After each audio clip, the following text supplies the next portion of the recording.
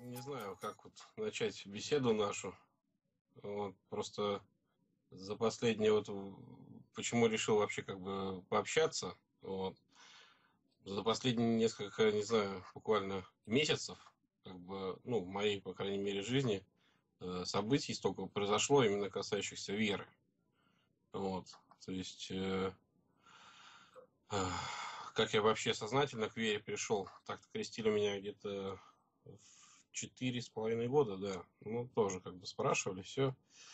Но уже как бы сознательно где-то 15 лет я пришел в церковь, вот, начал уже с верой интересоваться. Вот, и в этот период э, познакомились мы с священником, вот, с одним отцом Владимиром. Он у нас вот здесь служит недалеко. Вот, ну, как бы все нормально, общались. Вот. Но вот последнее время он, он стал буквально на себя не похож. Вот, я пытался с ним как-то заговорить на тему вот того, что происходит сейчас э, конкретно в Русской Православной Церкви, вот эти события в Гаване с поездкой туда. Я не знаю, у меня язык не поворачивается его назвать, ну ладно, пусть он будет патриархом пока, Кириллом. Вот, то есть э, он это все как бы сводит на такой уровень, что ничего страшного не произошло, это чисто политические какие-то движения. Вот, я ему говорю, очень, ну, вы посмотрите, что вообще происходит. Вот, они лобызаются, он его братом называет, декларацию, говорю, вы почитайте повнимательнее, которую они там заключили соглашение 30-пунктное. Нет, все нормально, типа, все нормально. То есть, я не знаю то ли он боится места, как бы, ну, грубо говоря, работы потерять, то ли, я не знаю, то есть вообще. Ну, а что иначе, конечно, боится. Вот.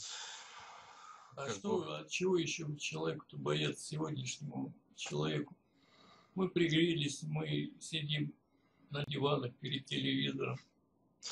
ну, так вот, у меня чувство, как бы, как сказать, как правильно его обозначить что вот эти все вещи приготовительные, которые сейчас начинаются в связи с этим Волчьим собором восьмым, и вообще в мире, они как-то идут не даже лавинообразно, а как-то скачкообразно. То есть это лавина как волна нахлестывает, и как-то все вот это э, намеренно ускоряется. То есть, э, ну, понятно, кем это подталкивается.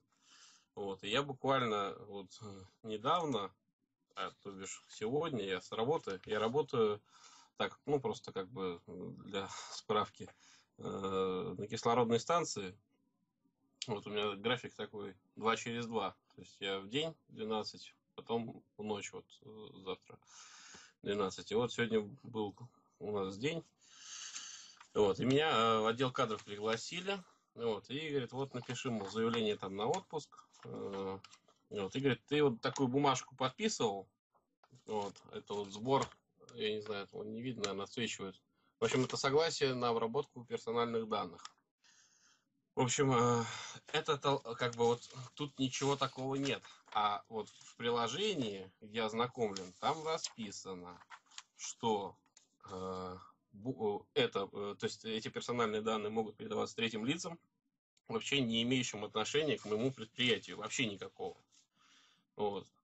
И лукаво как бы снизу написано, что э, согласие вступает в силу со дня подписания действует в течение определенного срока. Согласие может быть отозвано мною в любое время на основании моего письменного заявления. Но это э, ложь, потому что нельзя, э, как воду, допустим, вылить в реку там или куда-то, а потом ее же забрать, как вот э, из э, мультик-то был советский «Золотая антилопа», э, монетки высыпал, рожа, Говорит, а как мы сейчас теперь отличим твои от моих? Вот то же самое. Эти данные уйдут непонятно куда, непонятно кому. То есть, ну, мы-то знаем примерно кому. Ну, то есть, они уйдут за ту грань, которую я смогу контролировать.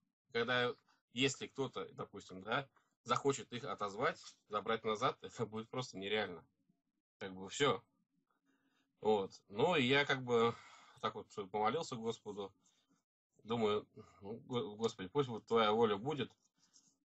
Вот не буду я это все подписывать, а там пусть они сами решают. Хотя, э, как бы, если брать э, трудовой кодекс, то теоретически они как бы не имеют права меня увольнять, потому что все-таки добровольное согласие. Ну, посмотрим, как там их бесы начнут крутить. Вот.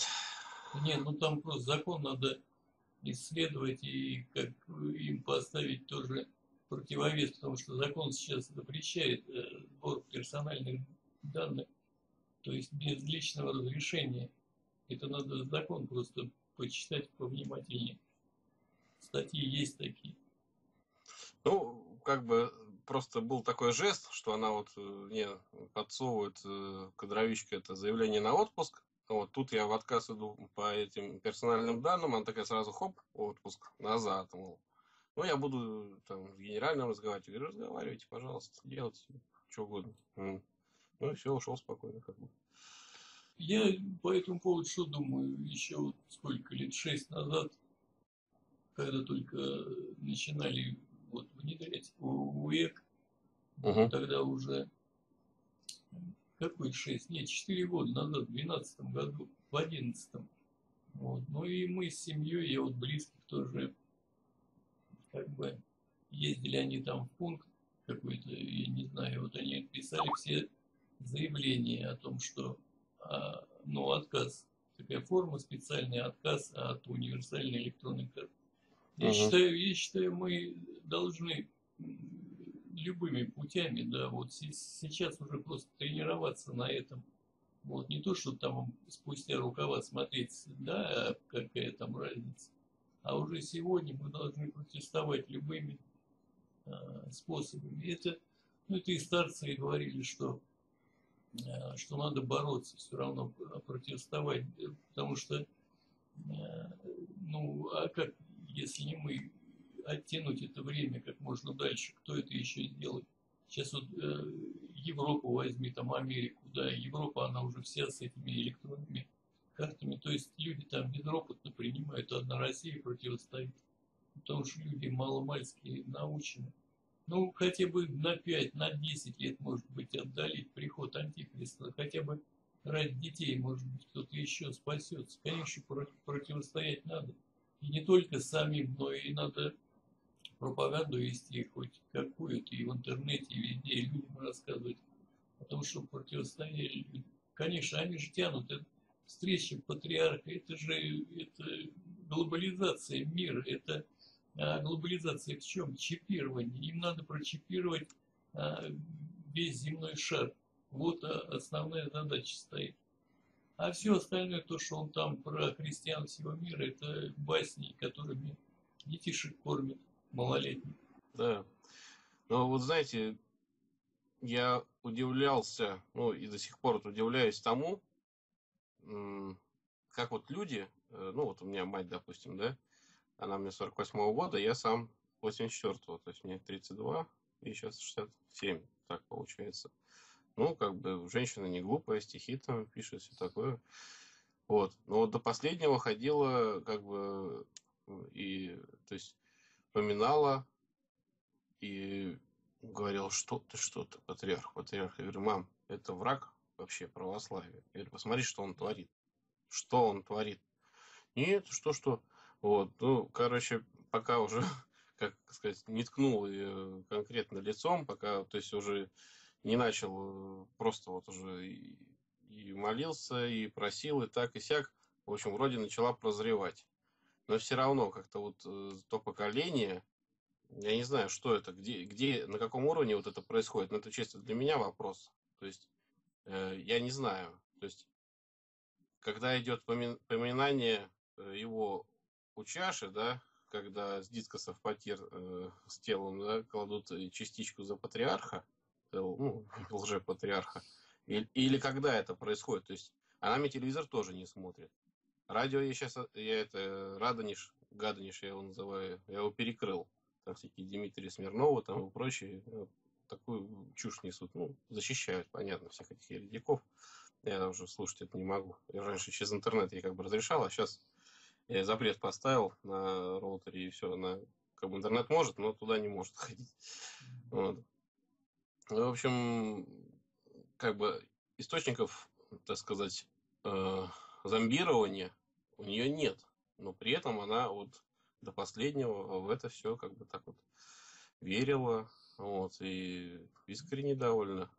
Выбор, конечно, я не знаю, насильно ставить такой вот запрет. Выбор, конечно, у человека свобода должна быть в первую очередь.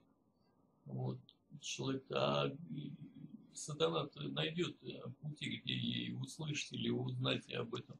Да, согласен. Она стала другое, там именно радио, которое э, на э, радиоволнах, так сказать, прием осуществляет. Но я ей там тоже пару раз сказал, после этого она прекратила, как бы уже не стала этих путей искать. Но я уже думаю, просто это как привычка, что ли, была или что. Ну, в любом случае, я, у меня несколько вариантов, почему с людьми такое происходит. Вот. То есть, или это духовный и техногенное какое-то воздействие, там, я не знаю, там, через что там, через эти вышки сотовые или через что, то есть какое-то подавление воли, я не знаю, вот, какое-то оболванивание, я не знаю. Да, вот, нет, и... это идет испокон веков. Христос как назвал это, что люди больше возлюбили тьму, нежели свет. Люди любят земное, а о духовном не помышляют. Да, они э, просто система ценностей неправильно выстроена. Истинного блага не познали и стремятся за иллюзорными всякими вещичками, которые, как и тело, которое их использует, оно умрет рано или поздно. Вот, скорее рано. Вот, и никому они не будут нужны, эти штучки, дрючки. А душа тоже будет. Ну и Писание об этом говорит, что никто не имеет Э, власти над душой человеческой, кроме духа живущего. Если тебе дух не Христов живет, э, два вида духов, или Христов, или антихристов дух. Если тебе нет э, Христового духа, то, конечно, и вышки на тебя будут влиять, и все. Если у тебя нет Христового духа, и подавлять и эмоции твои, и воли будут, конечно, они... Ну, я да. не верю в это тоже, вот, в эти как его назвать-то, не знаю, магнетизм вот в этот, который сейчас и 25-й кадр, и, и нейролингвистическое программирование, и все, конечно, все работает. А как иначе? Ну, а как вы, как видеть вот людей, которые оправдывают все, это, да, вот им вроде говоришь, ну вот приводишь а, аргументы такие святых отцов, да, которые противостояли против католической ереси, да, ну, отцы, которым вы, на основе которых вы сейчас и веруете, да, и человек все равно упирается, нет вот патриарха, а почему патриарха? А вот потому что с Путиным у них все там вот так вот. Человек как-то себе все объясняет. Я выставил ролик сейчас вот этот.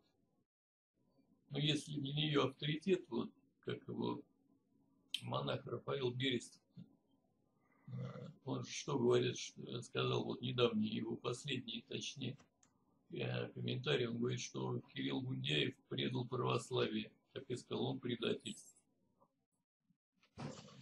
Ну, я как бы в этом не сомневался уже давно, на самом деле, еще до того, как он поехал э, на Кубу, все это подписывать и прочее, потому что, ну, знал эти его делишки все, да и Э, отец Владимир тоже там рассказывал про нашу патриархию, что там происходит, Санкт-Петербургскую. Кстати, вот э, интересный, забавный такой момент. Вот этот храм у нас в Колпино, ну, Вознесение Господня.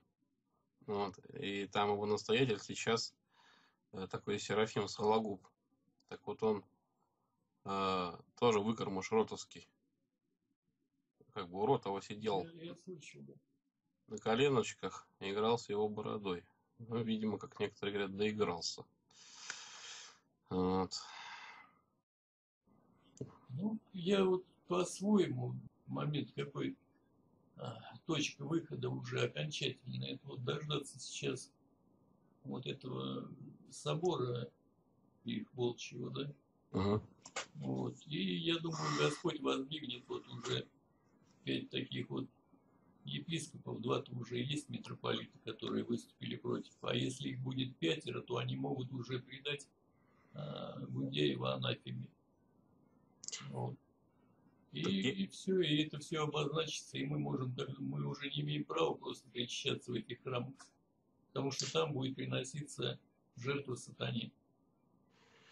Да, и вот я еще, то есть как бы события очень так стремительно развиваются. Вот у меня знакомый, ну как я его считал братом во Христе, ну такой своеобразный человек, как бы начитанный, да, знает там Писание, знает отцов, но так сказать, эти знания, ну, на мой взгляд, его как-то над, над, ну, то есть надменным, что ли, сделали каким-то, я не знаю. Мы вот, мы тоже с ним общались, он говорит, я говорю, слушай, ты вот вообще видел, что там Раме Христа Спасителя на Пасху происходило в этом году? Говорю, там католики прям открыто молились, а потом еще, по-моему, они и причащались. Вот. Сзади там кадр был виден, но плохо. Он говорит, а что, ничего страшного. Мне, говорит, католики не мешают молиться в храме. Я говорю, ну, я понимаю, там, если кто-то католичка зашла какая-то там по гражданке, да, как я говорю, ну, то есть э, он в армии не служил. Вот, говорю, слушай, ну, ее не видно, католичка она или нет, только если она креститься будет слева направо, там как-то непонятно, да, не, не по православному. А так-то не видно. А там ксензы, я говорю, в своих облачениях стоят на службе. А положено службу-то вообще останавливать, когда еретик находится на литургии верных. Не должно его быть. Оглашенных не должно быть. А тут еретик стоит на литургии верных. Это как? Ну, внутри храма самого. Не, это нормально, не мешает молиться. Думаю, ну, это надо все писанием подтверждать, надо а, просто показывать, вот, допустим, что нам э, говорит Евангелие, да, что дом не принимайте, кто не приносит учение вашего, то и не принимайте и не приветствуйте таковых. Вот, тут уже, конечно, оно само присутствие уже, а, как говорится, противоречит нашим уставам и вере нашей. Вот. Такого просто не может быть, потому что не может такого быть. Конечно, они сейчас все легко оправдывают и люди пойдут, большая часть людей, и причем и пойдут и верные, вот где совершается как раз по Писанию то, когда сказано, что он придет соблазнить и Крестить, возможно, и избранных. Избранных, да. Да. Конечно, mm. люди, э, людям-то, ну как приятно жили вот последние 10 лет-то, да? Вот, насколько всем было так, ну, ну не всем, может кто-то и жаловался, да, но, по крайней мере, таких лет у России, я думаю, вот последние сто лет не было, вот какие мы прожили. А те, кто знают, помнят 90-е годы, уж сравнить с 2000-ми, это вообще, я не знаю, рай был, наверное, в России. Ну, по плоти, опять же, по плоти. Ну, по плоти, конечно. А люди-то к этому привыкли, и все, они уже боятся потерять эту свободу.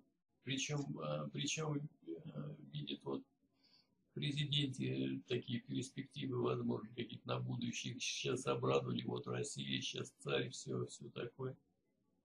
Нам бодрствовать надо. Да. За все прославлять Господа. Господь сказал, что сократить время ради избранных. Да, это, это, кстати, чувствуется. Даже вот я с детьми, ну, как с детьми, ну, не младенцами, конечно, ну, в общем, э, раньше я думал, что это как бы с возрастом связано, или с работой, или еще что-то. А эти маленькие дети ну, относительно тоже чувствуют ускорение времени, то есть течение времени. Вот, то есть часы-то все равно секунду показывают, ту же минуту, час. А течение времени изменилось. Мироощущение, наверное, другое ощущение уже реальности в человеке. Да. Ну, я со многими тоже людьми общаюсь, но я и сам это замечаю очень отчетливо, что все быстрее и быстрее день проходит. Ну, вот не успеваешь буквально ничего делать. День как час. День как час. Час некоторые, как минут. Некоторые не видят, да, но многие замечают это. Вот, я просто еще вот один момент такой был ну, как бы стараюсь не всем это рассказывать, потому что, ну, даже православные, так сказать, э, ну, потому что некоторые говорят, что вот ты там в, пре в прелести там что-то этому веришь. Но вот за всю свою жизнь у меня таких э, как бы снов было всего три раза. И вот как бы, ну, не буду в подробности как бы вдаваться конкретно самого э, сна, но э, там было показано мне, что каким образом э, будет внедряться вот э, э электронный паспорт или что, или печать антихриста, то есть будут э, по э, миру, по столицам, ну, по странам устроены э, теракты. И э, э, э, спецслужбы, там, милиция, полиция, кто там, где, кто, вот говорит, что, а, вот террористы, вот, и чтобы определить и найти террористов, вот, нужно, чтобы все приняли вот этот чип или паспорт, и мы тогда увидим, кто хороший человек, а кто плохой. Вот. Но самое главное, что это будет сделано искусственно. Вот. И как бы именно страхом. Первая вот эта волна будет именно на страхе. А потом уже э, отмена денег наличных и еще что-то. А первая именно будет как бы страхом. Так и будет. Взята. А я читал об этом уже сколько лет, 13, наверное, назад. Вот, то есть люди такие писали, я не знаю, что это вообще. Я познакомился впервые вот тогда в интернете с этим, вот, и была вся программа это прописана.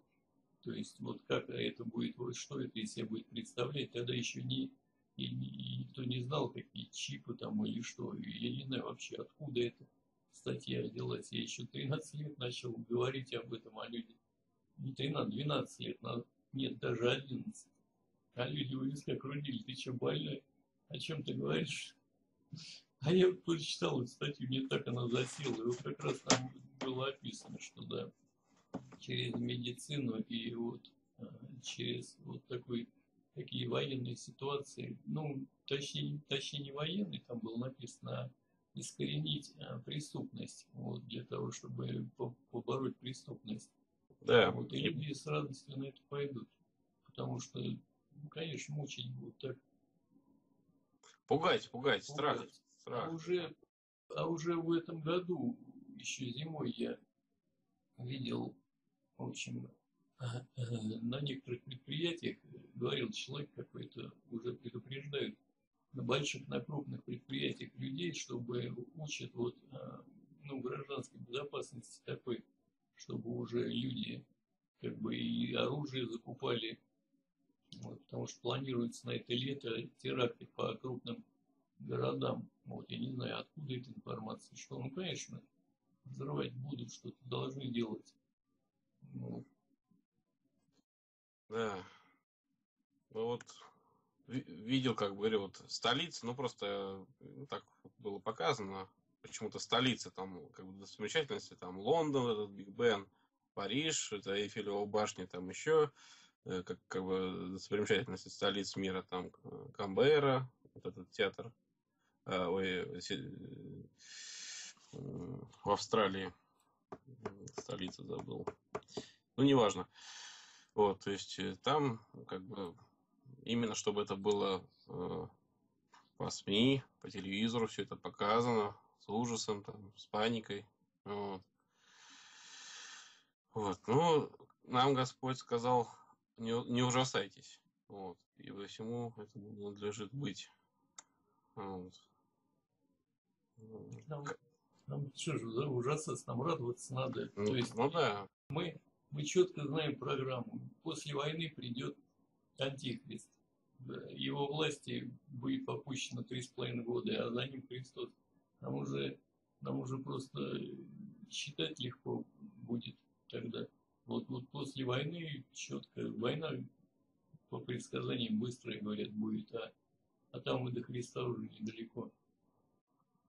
Да, да. Ради, ради награды вечности. Сейчас, я, я не знаю, больше задач и не может быть вообще в нашей жизни. Это да. Главное, именно как вот э, слово вера, да, это же доверие Богу тоже доверие его воле. Ну, конечно, он, если Бог это сказал, разве он нарушит слово свое? Да. И вот надо сердце, все, мысли предать в его волю, и тогда уже не будет ничего не страшно, ничего ты не будешь бояться. Не сомневаться, да, вот не сомневаться да. и все. Поменьше бояться. Вот сейчас я смотрю, Алексей Мороз, что священник, священник, я не помню, питерский, он ваш. Да, да, да, он, да, питерский. Как он смело это говорит сейчас.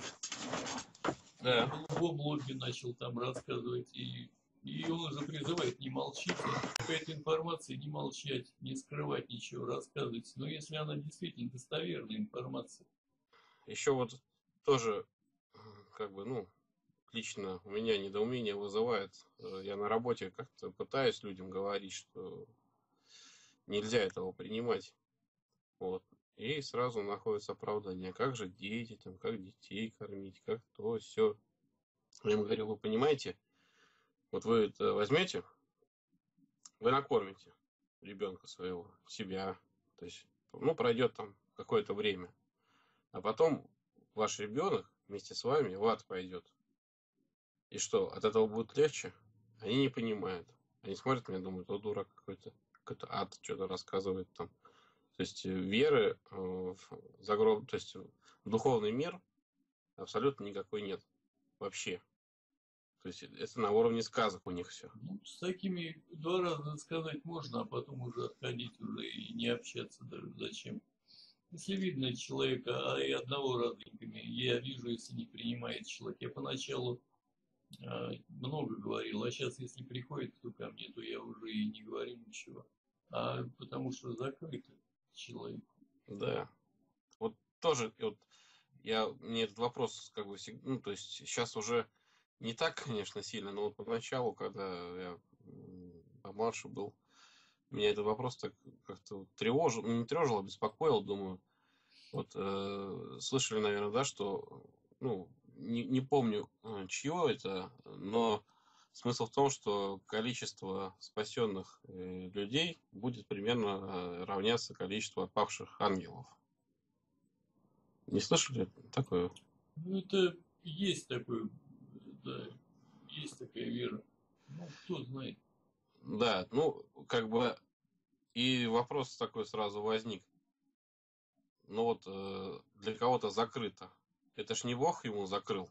Это ж он сам закрылся. Конечно. Вот.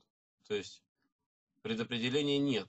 Но вот у апостола Павла есть там слова такие, что предузнал вас. Предузнал. Ну, как это предузнал? Потом вроде как понял, что ну, это все-таки Господь, который вне времени находится.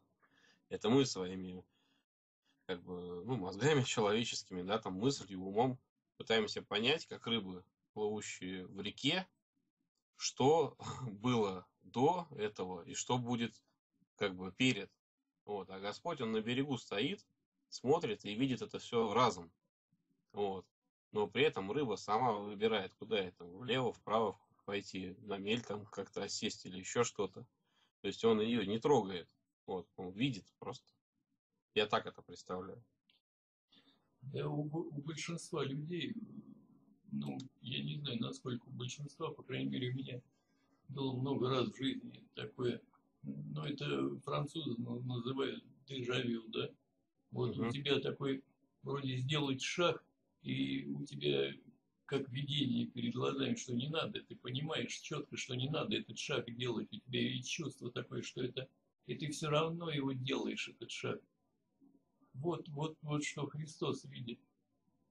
Но он, он не вмешивается абсолютно, он, а как? Ну, он же дает нам полную свободу. Да, это, то есть мы пытаемся, ну, то есть я, по крайней мере, у меня такое было, да, вот что-то понять относительно Бога. Ну, так вот на себя потом смотришь со стороны, думаешь, ну, вот ты же пытался впихнуть его в свои какие-то рамки, да, понимания. Ну, это естественно, чтобы тебе как-то понять. Но это невозможно понять, как бы, так, как это есть на самом деле. То есть э, Господь как-то себя открывает в чем-то, но только в том, насколько ты можешь это воспринять, понять сейчас. Вот, и конечно, это удивительно. Надо просто пережить. Объяснять это словами очень трудно. Вот. А Господь и делает вот такой отбор какой-то, отсев какой-то, ну, как, как говорит Писание, что Отец ищет себе таких, именно ищет. И там же не сказано, Христос говорил, таких ищет себе Бог, да? Да, да. Э, Бог есть дух, и поклоняться нужно ему в духе истины. Именно таких поклонников ищет себе Отец. Да, вот он же, он же ищет, ты видишь, как, как написано-то. Не, не то, что он знает их, а он ищет. Да, тоже интересно, конечно. Да. Ну, просто удивляюсь э, именно стремительности всего происходящего. Я когда вот э, именно в 15 лет мне было, пришел уже так сознательно в церковь, думаю, ну там антихрист, там какие-то предантихристовые времена, это еще, еще не скоро там как-то. А вот они уже тут, вот они, уже вот события здесь. То есть такое ощущение, что вот это время все, оно как как э, с, ужалось, что ли, как-то с, спрессовалось как-то вот. Я не знаю, как это объяснить. То есть... Ну да, ну это только чувствовать. Да. Причем вот я тоже заметил недавно совсем а, Христос, когда вот а, говорил, как мы можем узнать это время, да, но все равно вот я общаюсь с некоторыми священниками, с людьми, вот с некоторыми, они говорят, что нет, возможно, еще, еще не конец, возможно, еще будет время какое-то. Но об этом времени, как, как Христос сказал, Он сказал, когда услышите, именно услышите. О войнах и военных слухах, да. да. А, а как раньше, вот как, как можно было услышать о многих э, слухах. Тогда вот информация доходила, допустим, от страны, э, от страны к стране, ну там недели, возможно, месяцы уходили, да. А сегодня мы просто просыпаемся, мы можем слышать о многих катаклизмах, каких-то войнах. Это же об этом тогда нельзя было, наверное, людям сказать, что увидите многое. Поэтому он и сказал, услышите. Да. Именно эти времена и, и настали. Ну вот, э, да, я вот еще по откровению хотел э, вот сказать, что там же сказано, что когда вот э, придут два пророка, да, или Иенох, вот, ну, по поводу именно наблюдения за событиями всемирного, вот, сказано, что зверь их убьет, вот, они в третий день воскреснут. И все это увидят, то есть во всем мире, одновременно практически. Да. Как это может быть в каком-то другом веке? Или... То есть это вот телевидение, то есть интернет, телевидение. Оно вот, вот оно будет, пришло. Будет сохраняться, несмотря на какие войны, интернет будет сохраняться, да, потому что по-любому. на этом весь мир устроен.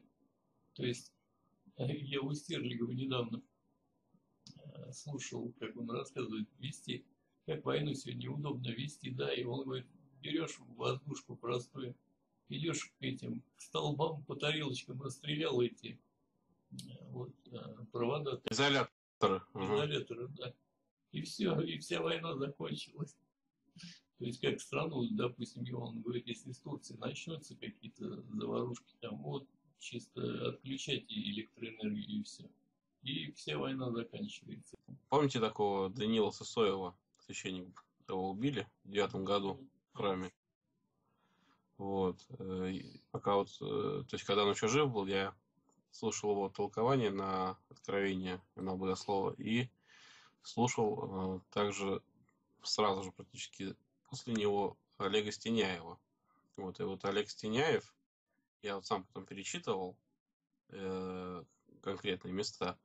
Вот более точно именно в техническом как-то плане описал э, вот саранчу, то есть э, отец Данил описывал как духовное нечто, там какие-то бесы, еще что-то.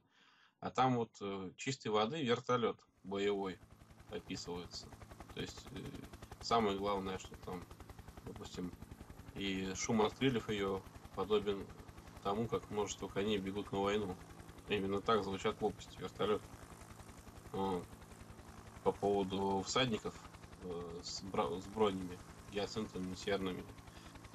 Э, брони это танк, вот. То есть из хвостов выходила э, огонь, дым и сера, и этими тремя язвами они вре- вредили людям. То есть танки. Ну, вот, конкретно описано. Но так как э, э, Иван Богослов был человеком первого века, он именно как это видел, так и описывал. Он не мог сказать, хотя, может, и мог, конечно, я не знаю. Вот, танк, да, там, или вертолет. Вот он видел это, так и как видел, так и писал. Я вот так считаю. Я видел сон у меня был такой, ну, еще, я не знаю, лет тоже восемь назад, но я думаю, пророческий. Высадку китайцев видел. Причем это никто, не кто-то, а именно китайцы. Я это четко понимал. И вот эти вертолеты летели, они, они действительно как саранча, вот как стаи вот мух или пчел, как рои огромные, они все небо застилали. И вот из этих вертолетов сбрасывали с веревки, и оттуда вот они прям пачками и гроздями такими эти китайцы высадку делали на землю. Да, да. Ну, у меня тоже были сны, только почему-то я видел, как у нас, ну, по крайней мере, с нашей стороны НАТО заходит. Вот, как бы видел вот эти именно буквы Navy. Вот, это у них военно-морская авиация, Navy. Вот, черные, такие на сером фоне. И почему-то у нас вот танки Меркава разъезжали, юрейские по Колпину. Думаю, ну вообще интересно. Вот, но это было мне сколько? Лет 17, наверное, где-то так. Давно было. Ну так и будет, конечно. Они же, если начнут рвать Россию, то они и одновременно начнут со всех сторон. Да, А что там о Китае говорить? Они уж позагадили все водоемы, у них пресной воды. Не то, что воды, у них воздуха дышать уже нечем. Настолько Да. все, почвы все, они позагадили все, у, а у них кризис просто грядет. А как людям надо где-то жить? да, понять можно. Потом дефицит у них э, сегодня сколько? 20 миллионов мужчин обреченных уже, которые никогда не женятся. да, И что же, эти мужчины будут сидеть, конечно, они пойдут завоевывать себе женщин. Да. Да, сказано же, не надейтесь ни на сына, ни на князя человеческого, ибо не спасение в них. Но еще всяк человек ложь. Да, Да, мы себе сразу э, в позицию гонимых должны ставить, и все, нас, да, нас будут гнать, убивать, всячески неправильно злословить, потому что мы Христовы, а как иначе? В этом мы, мы искать, наоборот, не то, что искать, а как бы радоваться в этом должны. Э, Если, если меня не гонят, не злословят, тогда что же я, получается, не Христов? да, как бы, если у тебя все в порядке, то что-то не, не то. Что-то не то, да. Да. У меня вот, вот эта вся хрень, я ее по-другому назвать не могу. Ну, вот эти вот паспорт у меня есть, ИНН, СНИЛС. Это, ну, это еще было, сколько, 10 лет назад. Я когда работаю, я вообще с 17 лет, как бы, получается. Ну, не считая армии, там, два года. Ну, а не тоже в стаж пошла. То есть, вот, считай, работаю с 2001 года. Вот. Непрерывный стаж, не считая там отпусков. И вот тогда у меня уже было ИНН. То есть это уже очень много. И вот э, думаю, сейчас, по-моему, уже не, как нереально с него слезть. То есть он все равно где-то там будет висеть. Правильно? Вот.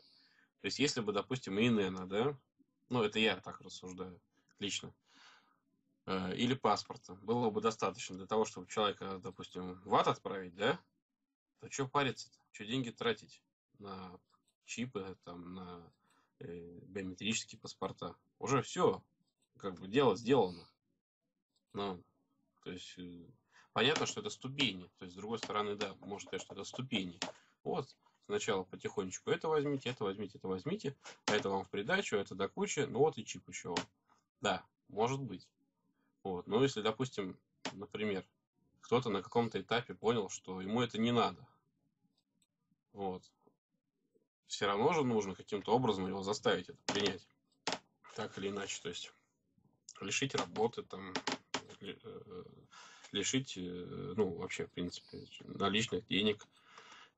Я думаю, что э, сам чип как устройство, оно не доведено еще до конца, до совершенства, до своего. Вот они сейчас, я думаю, время-то еще осталось для того, чтобы они более совершенные устройства, через которые чип-то он сделал, он, я не знаю, несколько десятков лет назад изобретен-то уже. Это как бы старое устройство.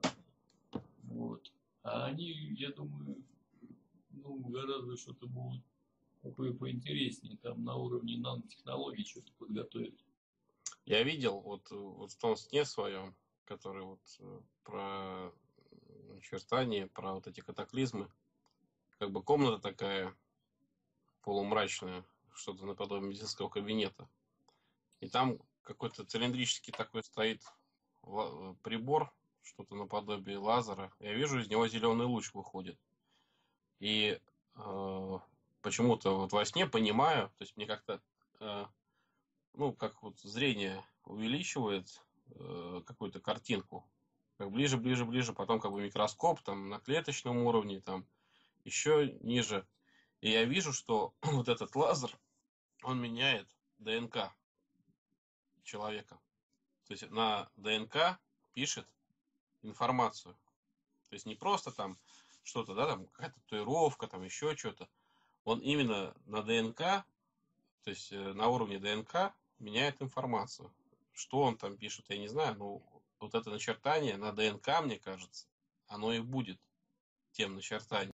Вот, вот это уже похоже, потому что а, есть сейчас такие, ну мне интересно показалось, вот а, человек один говорит, что он сам антихрист, он будет получеловек. Вот именно тем он будет, э, к чему сейчас стремятся все технологии, сделать киборга такого, да, получеловека, полу, полуробота, полумашина. Вот. И он сказал, этот человек, он говорит, мне это прям близко, что он, он именно такой будет, что это, это именно его будет. И люди вот именно подражая ему будут принимать его же образ. Вот именно становиться, они будут хотеть стать такими. Но это же сейчас уже видно. Вот, допустим, изобретение новых гаджетов, там какие-то очки, вот, к примеру, одеваешь, да, очки, вот, и видишь там у них уже целый мир новый. Вот. А это будет внутри тебя, внутри человека, то есть тебе никуда не надо, ты будешь идти на ходу играть там в игру какую-то, участвовать в какой-то интересной деятельности, да, и все это будет внутри тебя происходить. Мир будет, можешь а, одной мыслью изменить а, состояние свое, или мир целый изменить перед собой. Вот именно вот это должно быть. И от, да. этого, от этого это будет настолько захватывающе интересно, что человек не сможет от этого отказаться, тем более вот, а, глядя на, на сегодняшний мир, насколько люди захвачены вот, этим, вот этими гаджетами, технологиями, всем. Людям, люди с радостью это примут, они будут хотеть этого. Да, да. Сейчас уже это, кстати, вот практикуется. Вот, э, человек-компьютер. То есть виртуальная реальность не э, через глаза, да, то есть через сетчатку глаза, да. а прям в зрительный нерв да. мозг на кору, на кору зрительную подаются импульсы электрические, возбуждается определенным образом. Даже не надо там сверлить э, черепушку, там еще что-то. Через череп. Вот. А потом это будет, да, внутри уже. Да. Я думаю, они уже есть, эти технологии. Они, да. может быть, еще только, как бы, ну вот, а, как ее фамилия, это вот, как же из головы вылетела. Царева? Царева, да, она вот в одном фильме тоже показывала эту парень-то, казах, по-моему, он. Да, да, да, подписал контракт, им управляют. На нем, на нем тестируют вот эти программы все. Да, да, это и будет. И это, это как новые изобретения, как, как вошел, я вот помню, да, сотовый телефон. Быстро это разошлось, буквально вот за считанные годы, 2-3 года, и фу, все, весь мир, все, весь мир с телефонами. Также, а это еще стремительнее будет, потому что это будет дешево и доступно. Да, да. Э, просто если нам, ну, я имею в виду, людям показывают в интернете или еще как-то уже эти технологии показывают, то то, что не показывает, насколько оно шагнуло вперед. Эти же вот, э, все высокочастотная связь, это было у военных сначала все. Сначала к ним все попадает. Все эти технологические разработки попадают э, к ним и космическая отрасль. А потом уже на гражданку перелезает плавно. Так вот, если гражданским сейчас, обычным людям показывают такое, то что, не, что у них есть, то, что они не показывают. Конечно, конечно. То есть, видимо, сатана дает через весов, опять же, какие-то знания. То есть они же тоже как мы, э, ну, понятно, что э, ну, тело там, да, белковая э, основа, да, белковая, углерод, да, в конечном итоге, там, кости, кальций. Вот, они из чего-то тоже состоят вот, какие-то э, энергии, ну, которые мы не можем так вот э, увидеть, да, ну, по крайней мере, не всегда, но я их видел, этих тварей, четыре раза в жизни, ну, как-то больше не хочется, вот. Но, то есть, дает знания вот этим ученым, в кавычках, как вот эту нечисть сюда уже через технологические какие-то приспособления, аппараты, э, частоты в открытый доступ, э, так сказать, впустить в открытую дверь. Ну, это вполне возможно, конечно. А мир-то уже подготавливает добрый десяток лет, что инопланетяне к нам сойдут. Да, да. Это и будут те инопланетяне. Я это видел. Серые, зеленые. Да, да, я видел вот это в детстве. Я никак не мог понять, вот до последнего времени, последнего года, наверное. Я помнил эти сны хорошо. Вот. Э, я выхожу, у меня чувство такое неприятное. То есть, когда чувствую, что во сне бесы нападают, вот, то есть я начинаю сразу молиться, как бы крестное знамение на себя, ну, пытаюсь во сне как-то наложить э, с усом молитву. И вот неприятное чувство такое, страх сковывающий такой. И вот я это чувствую, выхожу на балкон у себя, вот, и вижу, что какое-то инопланетное вторжение идет именно чувство такое вот, именно когда как при нападении бесов. Вот. То есть это именно будет выставлено как какое-то инопланетное вторжение, вот, видимое. А, и бесы там будут играть, как сказать, в первых ролях, я так думаю. Будет, конечно, будет. Ну а каким образом э, будут э, люди переходить из этой жизни вечно. Именно этим образом и будет, что тот мир, он воссоединится с этим. То есть, как, каким образом Христос-то придет уже не в этом теле-то, а придет именно таким, какой, каким он уходил, каким он сейчас есть в том мире, а придет он как... Так что мир духовный откроется. Да, да. Все изменится, да, все изменится, и причем и э, при попущении Господнем Господь попустит этому изменению, и мы приготовимся. Тогда, тогда уже невозможно будет сказать, что я не знал, потому что ну, все уже, на сегодня все люди знают, все предупреждены. Да, просто как бы люди, ну, мне кажется, не понимают одной простой вещи, что жизнь и смерть, она в руках Божьих. И ты можешь пойти вот совершенно здоровый человек. И у тебя там аневризма какая-нибудь в голове лопнет, упадешь и все. Вот твоя жизнь кончилась. Вот. То есть, а, а... люди же не, в это не верят. Как, как человек твердит, что он... Но это и правомерно, в принципе. Конечно, человек бессмертный, да, поэтому человеку так и кажется. Но у меня опыт, когда был, да, умирание, вот я когда душа из тела вышла, ну я же не понял этого. И вот многим людям рассказываю, я говорю, ну почему вот а, написано в Евангелии, да, истяжут душу твою.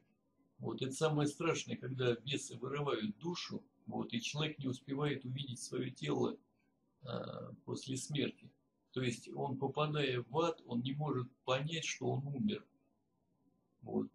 И многие находятся в таком состоянии, что они они не верят тому, что они умерли. Я это на себе испытал, когда вышла душа из тела. Я не увидел разницы. Ну как, разница была, конечно, существенная такая в ощущении. Но поверить в это невозможно, что ты умер. Как я умер? Я вот он, я существую. Я могу трогать себя, я, у меня есть голова, руки, ноги. Как я умер? Это не укладывается. Поэтому сегодня каждый человек, душа, каждая душа чувствует то, что смерти не может быть, я не могу умереть, это не может уложиться в голове. Да. Вот, э, опять же, забыл, э, сейчас он дьяконом служит где-то у нас, по-моему, в Александро-Невской лавре, в общем, дядечка. Вот он тоже опыт свой умирания рассказывал, и мне очень понравилось его описание э, тела и мозга. Вот, то есть, что это, ну, в простых вещах, что это, как бы, на самом деле. Вот он так говорил, что э, тело – это скафандр определенный, как бы, для взаимодействия с этим миром материальным.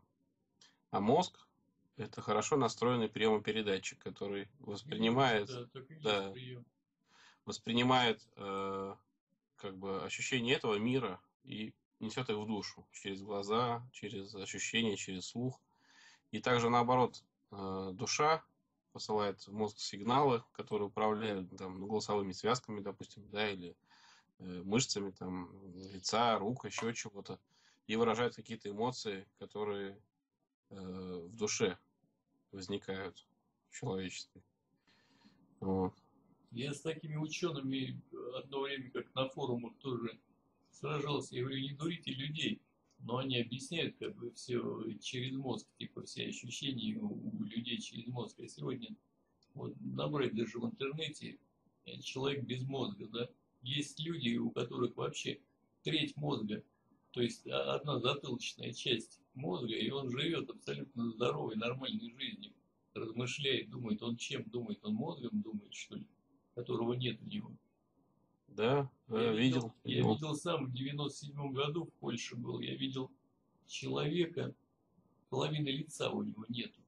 Вот как бы, какой я не помню сейчас, какой же, а, левой части мозга у него совсем нету, потому что нет половины головы. Вот так. Человек шел по рынку, смотрел, выбирал какие-то себе вещи. Абсолютно здоровый, нормальный человек. И что, и как это, и как это сегодня под их объяснением можно уместить, уместить когда, они, когда они объясняют э, всю вот процесс умирания, да, когда человек умирает, там он э, клет, клетки какие поведения. А чему, если нету этих клеток, чему, чему умирать? Да, вот именно. Интересно, да.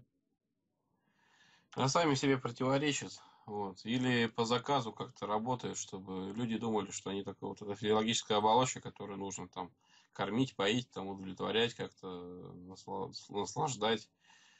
А душе, чтобы не думали. Вот, а э, душа-то это главное. Вот, то есть э, в Евангелии Христос э, постоянно тоже говорит, что не бойтесь убивающих тела.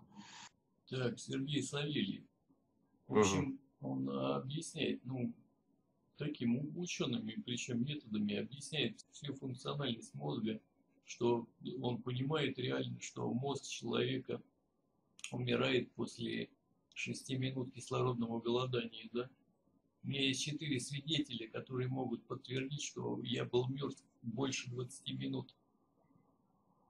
Ну, чисто, чисто по его размышлениям, могу ли я э, думать или, или говорить даже, не знаю, звуки произносить, или моргать, там, смотреть, могу я вообще. Как, как... По его рассуждениям никак. Ну, потому... Все уже. Мозг уже должен был умереть полностью. И все. Восприятия никаких не должно было быть. По его рассуждениям. Это бедные люди, которые в это не верят, потому что они, они сами себя заключают, ну даже если так говорить по-мирски, да, в невыгодное положение. Ну, что ты потеряешь, если нет ничего за гробом, да, ну умер и умер, и все. Ну каково будет отчаяние, да, если там действительно что-то существует, а ты всю жизнь боролся с этим. Да, да. Ну это же, Это же первая мысль, которая только приходит, когда ты начинаешь протестовать или что-то доказывать свое там. Да.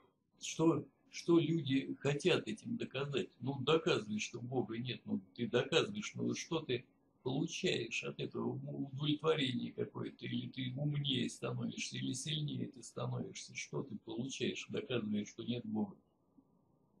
Это гордыня, гордыня. Просто, ну, по мне так, или какая-то глупость. Вот. Потому что если человек, допустим, позиционирует себя как-то как ученый, как какой-то знаток, еще что-то, ну ты вот взгляни, взгляни на небо, взгляни, допустим, на Солнце и Луну. Они же Э, настолько пропорциональны э, в размера Луны относительно Солнца, насколько они друг равно от друга удалены. И при затмении они полностью ровно перекрывают друг друга. Но ты вот такие вот массы расположи с такой точностью случайно, чтобы вот происходило вот именно так. Ну и примеров много таких в природе. Они оправдывают это миллиарды, миллиарды, миллиарды лет. Да не может быть. Там, если вычислить вот. даже математические соотношения, оно там э, не то что миллиарды, а триллионы на сколько-то там. Вот. И... Они, они будут говорить триллионы. Они тебе сколько угодно цифр. Ради, э, ради чего? Просто они не знают, что, кто такой Господь. Когда взираю я на небеса Твои, дело Твоих перстов, на луну и звезды, которые Ты поставил, то что есть человек, что ты помнишь его, и сын человеческий, что ты посещаешь его?